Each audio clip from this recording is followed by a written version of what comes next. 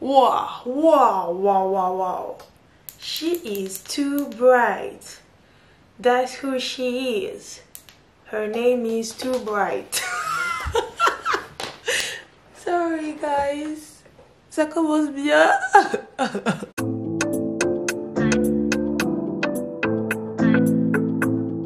Salut toi, j'espère que tu vas bien. Aujourd'hui, on va parler du vrai amour. Alors, bon, ok, on va pas chercher midi à 14h, c'est parce que c'est la Saint-Valentin. Pour une fois, j'ai voulu me mettre en accord avec les événements qui se passent autour, ok? Donc, on va parler de ça. Je voulais parler du vrai amour, ce que ça représentait, en tout cas pour moi.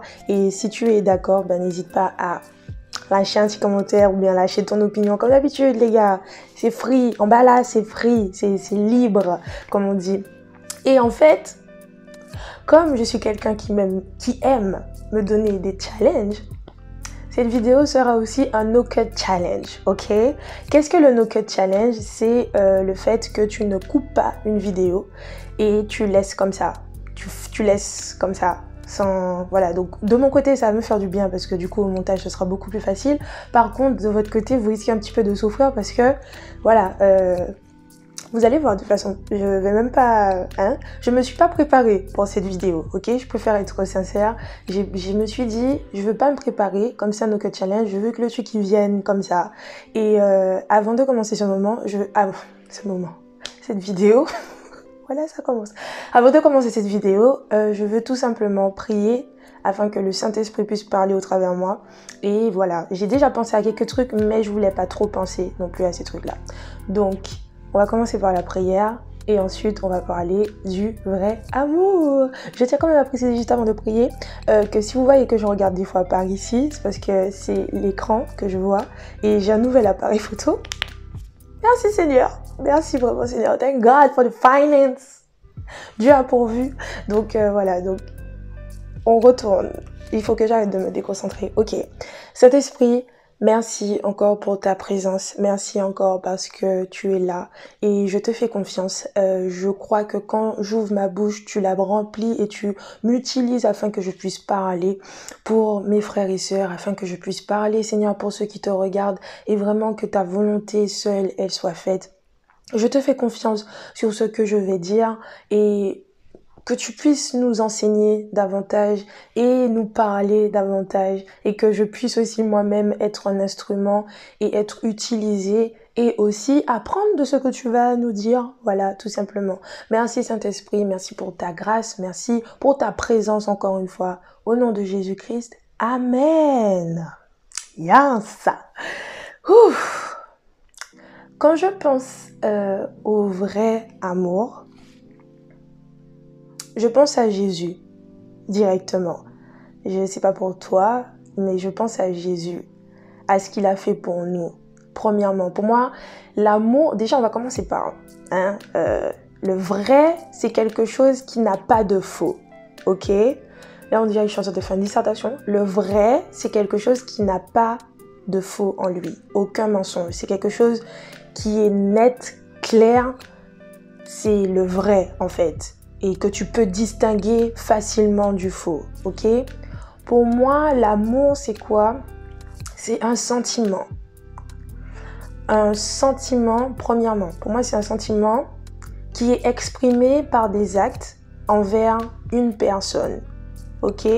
Que ça soit envers une personne ou je pourrais dire que ça soit envers une personne ou quelque chose. Parce que, bon, euh, tu peux aimer euh, danser, par exemple mon cas. tu peux aimer euh, cuisiner, tu peux aimer ton chien. Voilà, ça existe, oui. Tu peux aimer voilà quelque chose. Donc pour moi, l'amour, c'est un sentiment qui est exprimé. Tout simplement. Et en fait, quand tu aimes, tu as envie de faire. Tu as envie d'agir. Il y a beaucoup de filles qui aiment dire ça. Hein, oui, si tu m'aimes, euh, euh, prouve-le-moi.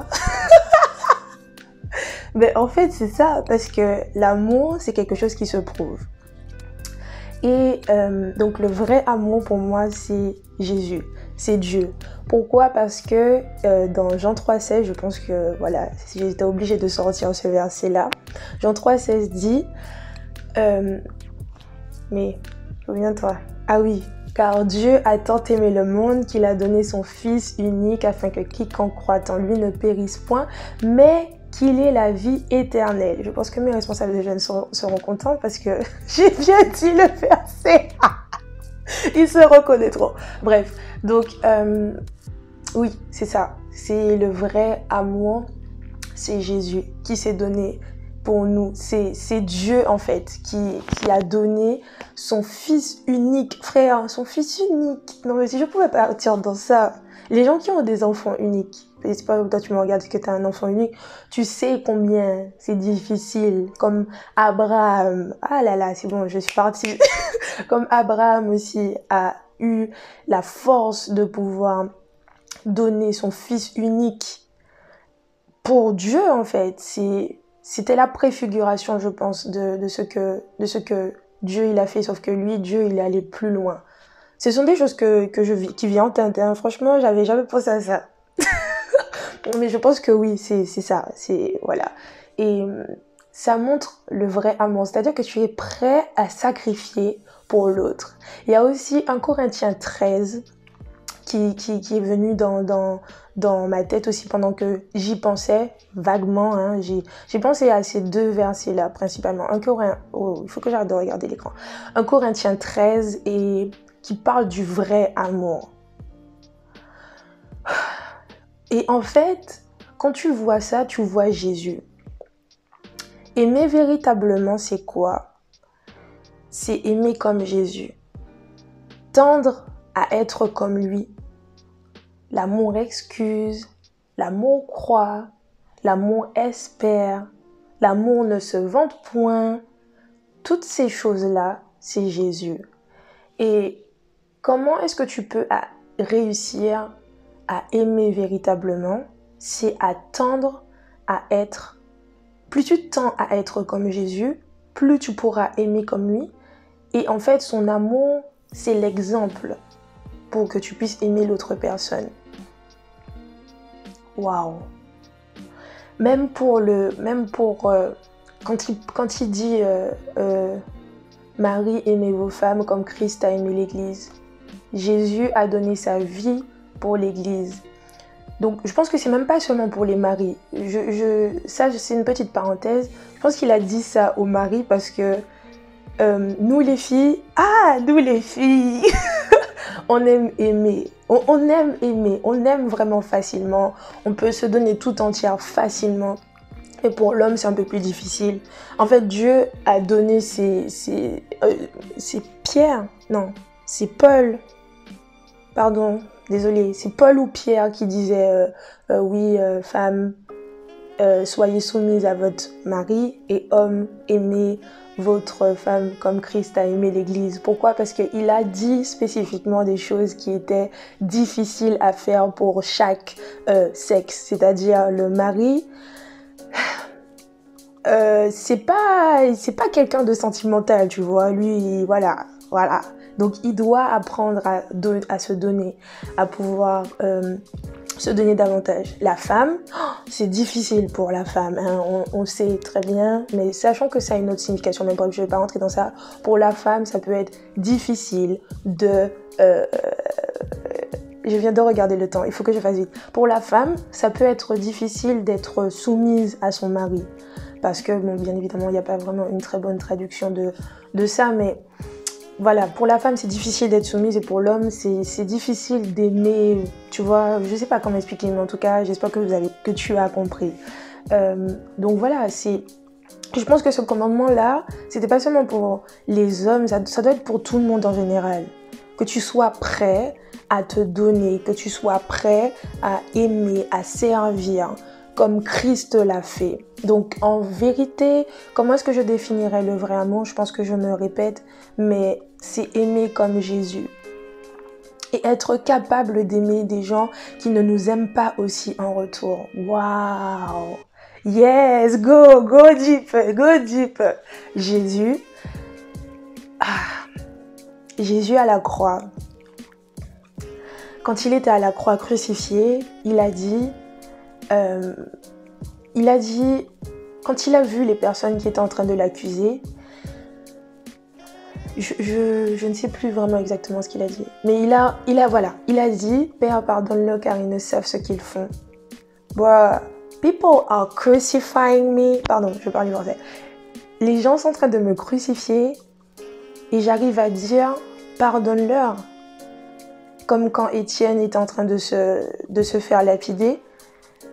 Je me suis dit, mais waouh, mais ça c'est l'amour de Dieu aussi. Donc même quand, parce que, ok, bon, ok, on va pas, on va peut-être pas, il y a certains d'entre nous qui ne vont pas peut-être finir lapidés ou autres ou crucifiés, ok? On sait pas comment est-ce que la fin des temps sera, anyway. Mais, en vrai, je pense que euh, ce que Jésus a subi, et malgré ça, il a réussi à aimer, nous aussi, on doit être capable d'aimer nos ennemis. Wow, pardon. en fait, ça me touche moi-même ce que je suis en train de dire. J'ai demandé au Saint-Esprit d'agir, il est en train de le faire. Et waouh.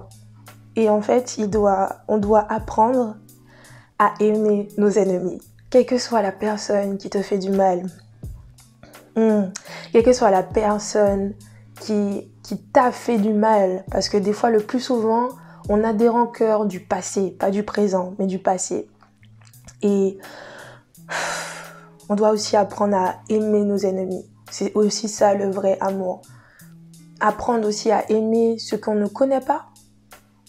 Par exemple, tu rencontres quelqu'un dans la, dans la rue et voilà, tu, tu as de l'amour pour cette personne en fait. Voilà. Euh, what? Je pensais pas que j'étais capable de faire la vidéo sans, m'arrêter. Je sens qu'il faut que je m'arrête là. Euh, je pense que j'ai dit déjà beaucoup de choses, mais c'était vraiment, c'était vraiment un encouragement à aimer vraiment, parce que la Saint-Valentin, ok, euh, c'est une fête ou euh, voilà, mais je voulais aussi parler non seulement aimer ton mari ou ta femme si t'es avec quelqu'un, enfin si t'es avec ton mari et ta femme, pas quelqu'un, hein. sois marié, hein, la bague au doigt s'il te plaît. Non, attends, c'est quel, c'est de ces doigts-là, la bague au doigt s'il te plaît. Mais euh, pour aussi pour les gens en général. L'amour en général. Ok? Il y a certaines personnes qui aiment avoir des cadeaux. Il y a certaines personnes qui aiment qu'on agisse pour eux. Euh, je vais pas vous parler non plus des cinq langages de l'amour, flemme. Euh, vous pouvez aller lire le livre de Gary Chapman. je sais pas où est-ce que je suis en train d'aller. Bref, laisse-moi me concentrer.